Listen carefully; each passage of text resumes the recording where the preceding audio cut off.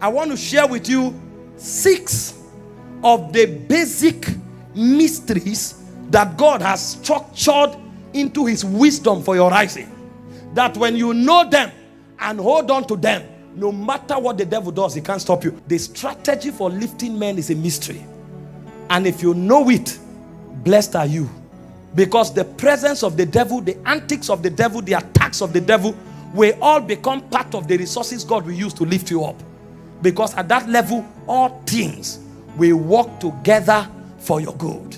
And so, what are the spiritual systems that are put in place for the rising of men? Number one is called ordination. Because God knows that the devil will come for everyone. He wrote the destiny of everyone before they were born. So if they find that destiny and they are walking in it, there is an insurance policy that is put in place to ensure that the operation of the devil can't stop them. So everyone born into the earth realm has an insurance system protecting his rising. The only problem people have that makes them end up in frustration is that they step out of ordination. And I will tell you, the devil is not joking about this matter. Your study about Jesus, before Jesus was born, astrologers saw his star from the east. And they traced him. He was just eight days on earth. They knew the exact location where he was. And they came there. And even when his mother, his father, and no prophet knew who he was. These guys x-rayed his destiny correctly and said he's a king. Before the prophets could pick him, before he was even dedicated on the altar, the devil had traced him. Said, This is a king. And because they saw him and made the mistake of telling Herod, see the way the devil works. Herod did not look for one month old babies. This guy was just eight days old. The devil created a long buffer. Every child under the age of two, kill him. I don't want to give any chance. I don't want to allow any lapse. This young boy, they said is a king. I don't know where he's coming from. I don't know what he represents. But kill every child that is two years old so that he, we, we will not make the mistake of missing him. In case they didn't calculate his date of birth well, let's create a good enough buffer so that he must be included. But because the Lord was functioning by the dictates of ordination, there was enough insurance. If you are walking in ordination, if angels need to be mobilized, they'll be mobilized. If men need to dream, they will dream. If systems need to shake, they will shake, but it won't go down. And we saw that every time Jesus celebrated his birthday, if he ever did, he was the only person in his generation. Because the devil wiped off everybody. The only thing that kept him was ordination. And that was how he lived throughout his life. Every step Jesus took, you will see that it was spoken by Isaiah, by Jeremiah. So everything he was doing, including where Jesus was living, was captured in prophecy. The land of Zebulun, the land of Naphtali, by the way of the sea, beyond Jordan, Galilee of the Gentile. The people that sat in darkness have seen a great light. So he followed the dictates of ordination because he knew that was his insurance. And so when a man finds ordination, his rising is a must. In Jeremiah chapter 1, verse 5, it said, Before you were formed in your mother's womb, I knew you. I ordained you to be a prophet. I know all the battles of prophets, but you will fulfill destiny because it's an ordination. I ordained you to be a prophet. Listen, the greatest manipulations of life find expression in the corridors of ordination. Number two, what is the key, the secret for rising? Consecration. Every ordination comes with a consecration. When you see the life of Joseph, the reason he passed through zigzag kind of pathways, yet he arrived, was because his consecration was intact. Genesis 39, verse 9. How can I do this evil and sin against God? The day you violate consecration, that day you change your path of destiny. Because every suggestion of compromise is to reroute you from the path of ordination. Hope you know if Joseph slept with Potiphar's wife, he would have become the chief houseboy. And that would have become the zenith of his life. There would never have been anything like throne or palace. Because he would have rerouted himself. And there's nothing God would have done. God rather would have raised another one in his stead. Any man who wants to rise must take consecration as a life and death matter. It's rather you die keeping your consecration than to compromise to receive momentary breakthroughs. Those breakthroughs are deceptions. They are a mirage that takes you away from destiny. Hardship doesn't kill anybody. It trains those who are ready to grow and those who are not ready, it gives them an opportunity to compromise. One will enter destiny, another one will fall out of destiny. Keep your consecration. There is something about consecration that becomes the basis for the lifting of men. There is something about consecration. Consecration. The second mystery for rising. The third mystery for rising is seasons. When God wants to lift a man, he occasions a season. When that season comes, the lines suddenly begins to fall for you in pleasant places. The way season works is that you don't even need to do anything. All you need to do is to be aligned. And the lines are just falling in pleasant places. Look at Isaiah chapter 7, verse 14. A prophet rose up and said, A virgin shall give birth. He didn't call anybody's name. A virgin shall give birth. He just spoke something and created a futuristic season. A virgin shall give birth. She shall bear a son. His name shall be called Emmanuel. And people were walking through time until that season came. The moment that season came, an angel was sent from heaven. And the angel traced a young virgin and said, Hail Mary, full of grace, the Lord is with thee. Blessed art thou among women. It's not because she was doing anything special, she was just aligned. And because she was aligned and her name was mentioned in the high heavens, she suddenly became a wonder. You know the problem with many Christians? They miss their seasons. They lose the cycles of their destiny. And so a door opens, they don't enter. Another door opens, they don't enter. If you miss your seasons to a very large extent, you will never rise. And there are two things about a season that every spiritual man must be conscious of. Number one, I divided it into three burdens. Every time a new season is coming your way, you will discover that your appetites will begin to change. Find out from any spiritual man, he will tell you. That's why you have to be spiritually sensitive. So that when your appetites begin to change, you will know. There are certain seasons that are coming your way. Suddenly, hunger for prayer will increase. You will know this is not normal. Sometimes, desire for fasting will begin to increase.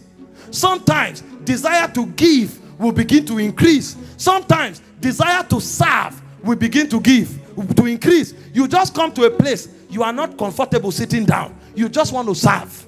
You just want to do something. They say, No, don't worry. You say, No, I want to serve. Because those burdens are required for you to be able to bet that season. The second indicator that the season has opened is encounters. Don't trivialize encounters. You went to sleep, you had a dream. The next day, the dream continued. You think it was normal.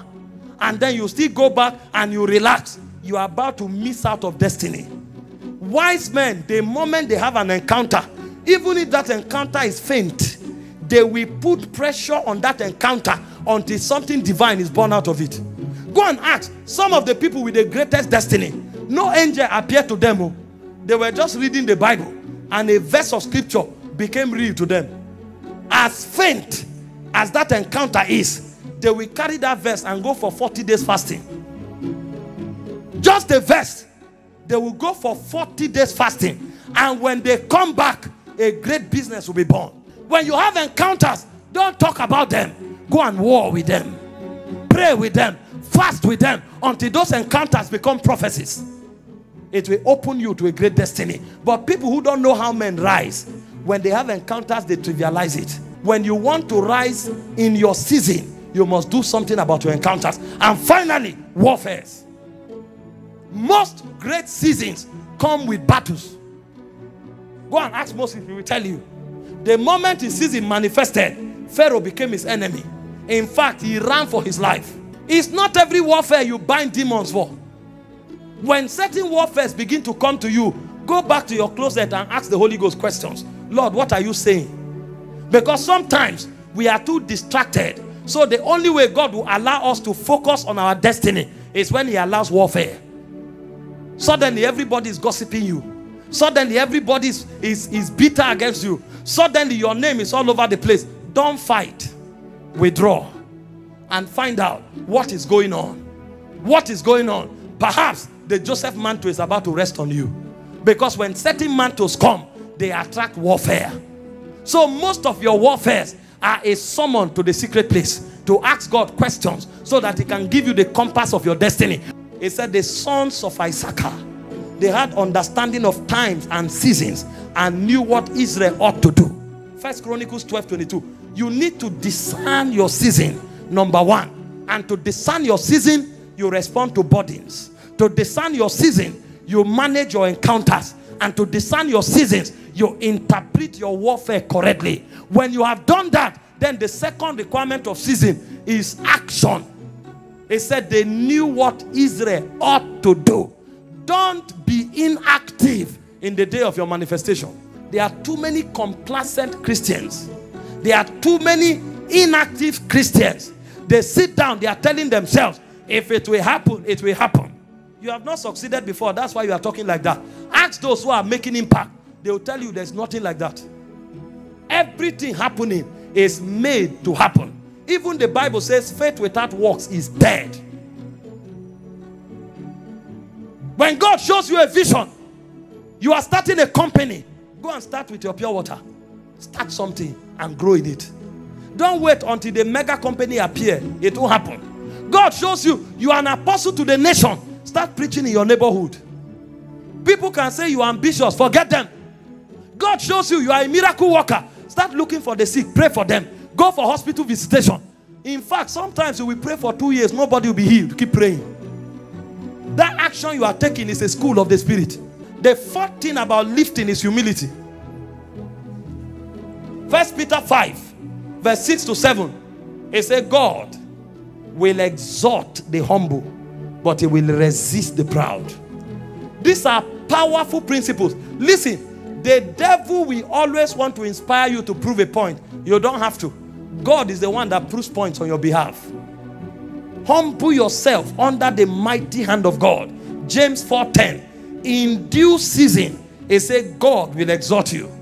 In Proverbs 29 23, he said, A man's pride shall bring him low. He said, But honor shall uphold the humble in spirit. When you find men who are being lifted and being lifted and being lifted, check at the foundation of their life is a robust technology of humility. God does not read your action, He reads your heart first. He said, Men look on the outward. He said, But God looks at the heart. If you want God to lift you, you must humble your heart in humility. The fifth way for lifting men is by wisdom. When God wants to raise you up, He will bless you with wisdom. There is something about wisdom that lifts men to the top. In Proverbs 23, 24, verse 3 and 4, it said, Through wisdom is an house builded. By understanding, it is established. And by knowledge, all the chambers are filled with good things. So, one of the way God establishes a man or a system is by wisdom. In our world today, if you want the mighty to associate with you, come with wisdom. Nobody can despise wisdom. Wisdom is one of the key for rising. And if God gives you wisdom, there are two areas He will bless you with wisdom. Number one, with men. Many people don't rise because they don't know how to deal with men. The second aspect of wisdom God will give you is with resources. There are some people, the resources that should translate to their rising, they waste it. You can be more gifted than everybody, yet languish in obscurity because your operation is not encoded with wisdom. And then, number six, the way God lifts men is through prophecy. He said the house kept growing by the prophesying of Haggai the priest and Zacharias, the son of Iddo. Every time prophecies go forth, men must rise. In Genesis 49, verse 10, when Jacob wanted to establish his children, it was not with donkeys and camels, it was with prophetic words. He said, Gather around me, you sons of Jacob. I will tell you the things that will befall you. And in verse 10 of that scripture, he said, The scepter shall not depart from Judah, neither the lawgiver from in between his feet, until Shiloh comes. And he made Judah a king forever by prophecy. See, nothing lifts men faster than prophecy. If you want to rise, if there's no prophet over your life, or God become the prophet over your life, wake up in the morning, carry scriptures, shoot them into your future. You want to rise? You rise by the words you speak. He said, Put me in remembrance of my words. He said, By thy words thou shalt be justified, and by thy words thou shalt be condemned. And so the sixth secret for rising is to choke yourself with the word of God. Saturate your future with the word. It says, if the heavens be full of rain, of necessity, they must send water back to the earth. Finally, how do men rise? By the ministry of a sent man. In Isaiah chapter 9, verse 8, he said, He sent his word to Jacob, he lightened upon Israel. Many times, when God wants to lift men, he sends men to them. Paul encountered Jesus, Acts chapter 9, from verse 4 to verse 6, in his glory. And Jesus told him, Go into the city, you'll be told what you must do. And Jesus went in verse 10 and troubled another man called Ananias to go and to ordain Paul into ministry. How can a man meet Jesus in glory and still need to meet another man? The reason many of us never rise is our arrogance. We think everything begins and ends with us. There are many kings that have never been ordained because they have despised their, their people who should ordain them. They think they are so big. And that is why when it has to do with men, the law of rising is the law of honor. He said, without every contradiction, the less is blessed of the better. And there are two categories of people you must honor. Number one, they are your parents. He said, honor your father and your mother. He said, this is the first commandment with promise. He said, if you do it, your days on earth shall be long. Ephesians 6, verse 2 and 3. And number two, they are spiritual men that God sends your way. In Second Chronicles 20, verse 20, believe in the Lord your God, so shall ye be established. Believe in his prophet, so shall ye prosper. See, some people think why we honor men is because of relevance by association. Church is not politics. Relevance by association may happen in the world, not in the kingdom. In this kingdom, it is the Spirit of God that He takes from a man and puts on another man. If God does not invest that grace on you, if you like, hug them everywhere, it will translate to nothing.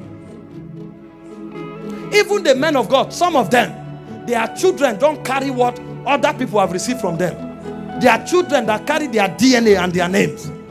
Because there's nothing like relevance by association in the kingdom. It's transference of spirits. He said, Get Joshua, a man in whom is the spirit.